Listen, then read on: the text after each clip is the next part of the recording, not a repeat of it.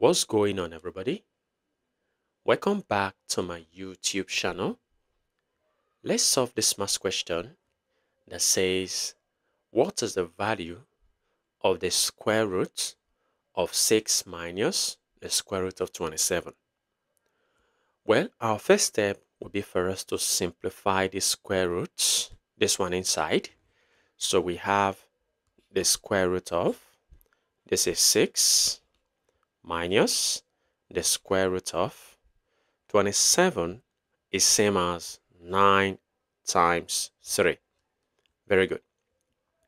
Now our next step will be for us to separate what we have here since we know that the square root of a times b is same as the square root of a times the square root of b.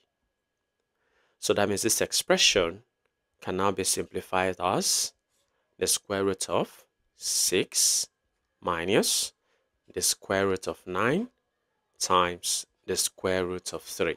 Very good. Now, we know that the square root of 9 is 3. So this will be the square root of 6 minus square root of 9 is 3. So 3 times the square root of 3 is 3 root 3. Very good. Now, our next step will be for us to apply a little bit of trick because I am interested in making what is inside of these square roots a perfect square in order to cancel out the square root. So what do I do? I know that 2 divided by 2 is equal to 1. So I'm going to be applying this here. So this will be the square root of 2 divided by 2, which is 1, times 6 minus 3 root 3. Very good. Very good. So we see that 2 divided by 2 is 1, and when it multiplies 6 minus 3 root 3, we have the same thing. Now our next step will be for us to multiply the numerator. So we have the square root of the numerator, 2 times 6, that's 12, minus 2 times 3, root 3, is 6 root 3. Very good. All over the denominator 2.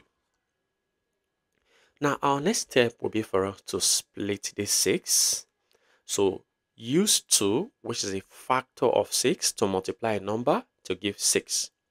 And we know that 2 times 3 is 6.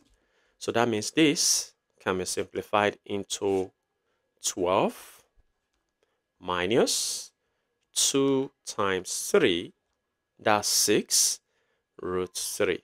Very good. All over the denominator 2.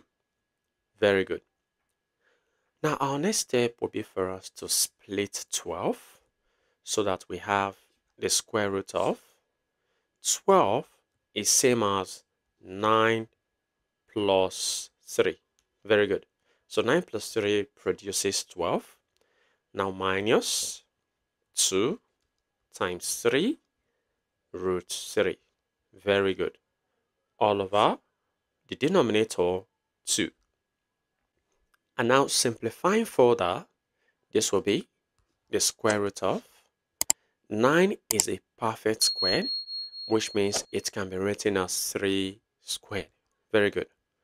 Plus 3 can be written as the square root of 3 squared.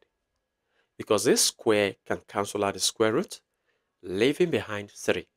So this expression and this 3 are the same thing minus 2 times 3 root 3. Very good. All over the denominator, which is 2. Now, notice what I have on the numerator. What I have on the numerator looks exactly as a squared plus b squared minus 2ab. And an expression like this is a perfect square which is written as a minus b all squared. Very good. That means we can be able to write this in this form. And comparing, you see that a is 3 and b is the square root of 3. So this expression will be the square root of what I have here will be 3 minus the square root of 3 all squared. Very good. Written in this form. All over the denominator, which is 2. Now, our next step will be for us to apply a property of surd, which says when I have a square root of a all over b, this can be written as the square root of a all over the square root of b. So let's apply this to what we have here. That means this expression will be the square root of 3 minus the square root of 3 all squared all over the denominator, the square root of 2. Now notice that the square root can cancel out the square, leaving behind 3 minus the square root of 3 on the numerator all over the denominator is the square root of 2. Very good. Now our next step will be for us to rationalize the denominator. So we have 3 minus the square root of 3 all over the square root of 2. So rationalizing the denominator means we multiply the numerator by the square root of 2 and also multiply the denominator by the square root of 2. Very good. So 3 minus the square root of 3 times the square root of 2 is same as writing the square root of 2 times 3 minus the square root of 3. Very good. All over the denominator, the square root of 2 times the square root of 2 can be written as the square root of 2 times the square root of 2. Very good. Now our next step will be for us to open up the brackets by using the square root of 2 to multiply through. So the square root of 2 times 3 gives 3 root 2 minus the square root of 2 times the square root of 3. That's the square root of 2 times the square root of 3. All over the denominator, the square root of 2 times the square root of 2.